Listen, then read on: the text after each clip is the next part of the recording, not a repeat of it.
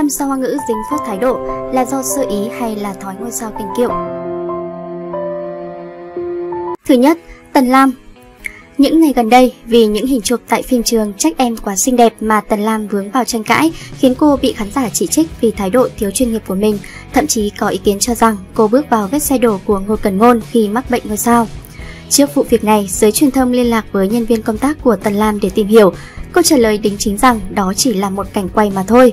Tuy nhiên, nhìn vào thái độ gay gắt của đạo diễn, nhiều người vẫn tỏ ra nghi ngờ về thái độ thật sự của nữ diễn viên.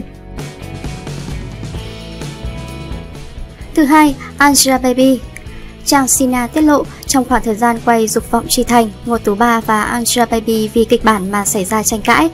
Sau đó thì bà xã của Huỳnh Hiểu Minh cả quá trình đã để lộ bộ mặt lạnh tanh, lời đi đề nghị của Ngô Tú Ba. Cả hai người đều bảo thủ giữ ý kiến cá nhân và quyết không chịu nhượng bộ nhau, khiến cho tình huống lúc đó trở nên vô cùng bối rối.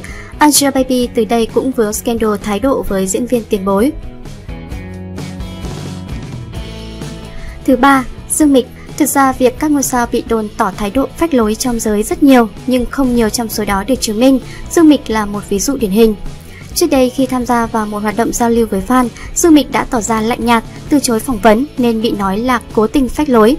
Tuy nhiên, theo câu trả lời chính thức từ phía nữ diễn viên, sở dĩ mỹ nhân này hành động như vậy là do hôm đó cô phải di chuyển nhiều, cộng thêm áp lực từ công việc, khiến cho bản thân mệt mỏi. Không chỉ vậy, thể trạng của Dương Mịch cũng không tốt vì cô bị cảm lạnh, dẫn đến bị khán giả hiểu lầm trong quá trình diễn ra hoạt động. Thứ tư, Đường Yên trong một sự kiện nhận giải của IQE, sau khi nói lời cảm ơn xong, Đường Yên ngay lập tức rời khỏi sân khấu. Vấn đề ở chỗ, người dẫn chương trình Chu Đan lúc đó đang phát biểu, hy vọng Đường Yên có thể chia sẻ những điều ngọt ngào sau khi kết hôn. Vậy nhưng cô đã vào trong cánh gà khi MC chưa nói hết câu.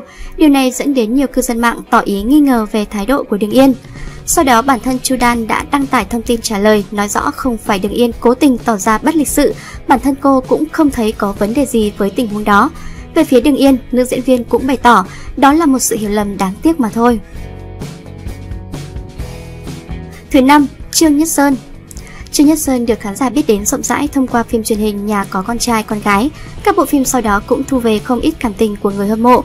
Tuy nhiên anh chàng cũng từng phải chịu tin đồn về thái độ ngôi sao. Cụ thể trong một sự kiện đã được định lên lịch từ trước, nam diễn viên không hề lộ diện trước truyền thông một phút giây nào, mặc dù đã có mặt tại địa điểm tổ chức từ đầu cho tới tận lúc chương trình kết thúc. Rất nhiều người đã cố gắng kiên nhẫn chờ đợi sự xuất hiện của anh chàng nhưng lại thất vọng.